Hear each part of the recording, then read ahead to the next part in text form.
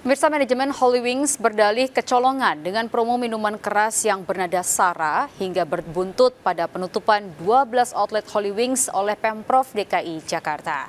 Selain karena promo miras yang bernada sara, penutupan Holy Wings juga akibat tidak adanya izin operasional di sejumlah outlet.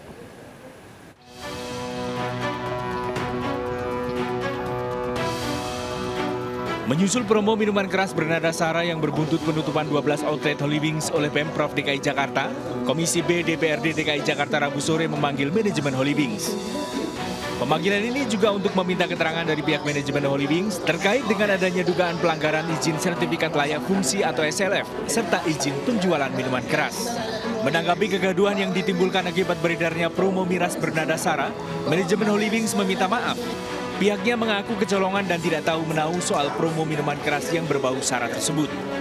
Menurut General Manager Project Company Holy Wings Indonesia Yuli Setiawan, promo mingguan sebelumnya sudah berjalan dan tidak pernah ada masalah flow dari promo itu kalau saya sebagai manajemen operasional saya tidak pernah dimintain approval gitu dalam artian karena promo ini kan udah berjalan mingguan sudah reguler gitu loh.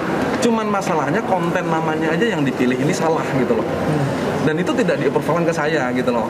Kalau minggu ini mau keluarkan nama ini tuh tidak diapproval tiba-tiba memang mereka langsung share di sosial media.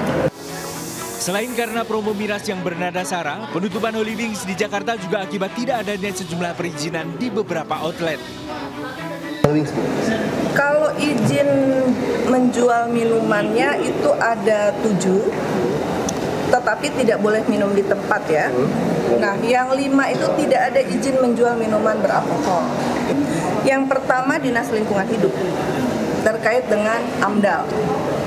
Yang kedua adalah uh, Dinas Citata terkait dengan zonasi dan peruntukan, gitu ya. Tadi disampaikan oleh Pak Wahyu Dewanto dari Gerindra bahwa di Senopati itu peruntukannya rumah, gitu kan. Nah, yang ketiga Dinas Perhubungan terkait dengan pasum parkir, gitu ya, dan retribusi parkir, gitu. Tiga itu dulu aja kan tidak ada. Untuk mengungkap dugaan pelanggaran izin sertifikat layak fungsi atau SLF, Komisi B DPRD DKI Jakarta akan memanggil wali kota, kepala dinas Citata, serta kepala dinas lingkungan hidup. Sementara itu, Ketua Bidang Keagamaan Partai Perindo Abdul Kholik Ahmad menilai penutupan 12 outlet Holy Wings oleh Pemprov DKI Jakarta sudah tepat. Itu sudah tepat ya, karena eh, ini bisa menghindari kerugian yang lebih besar. Karena jika ini tidak segera ada tindakan dari eh, yang memiliki otoritas, maka eh, kekhawatiran adanya tindakan-tindakan liar yang bisa memperkeruh suasana itu bisa muncul eh, di sana sini.